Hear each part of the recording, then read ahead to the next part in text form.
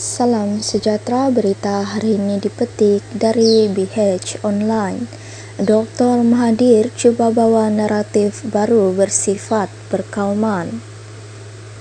Kuala Lumpur kenyataan Tun Dr. Mahathir Mohamad bahawa mewujudkan masyarakat berbilang kaum sebagai bertentangan dengan perlembagaan persekutuan bukan saja tidak tepat, malah membahayakan.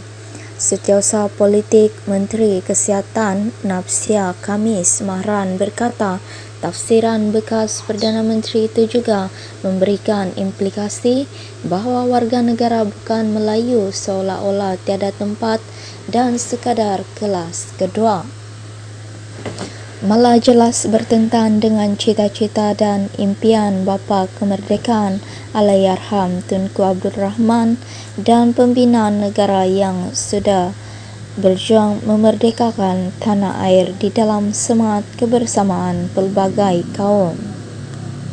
Gamaknya Dr. Mahathir lupa kepada cita-cita mewujudkan bangsa Malaysia yang menjadi salah satu teras dalam wawasan 2020 yang beliau sendiri zahirkan katanya.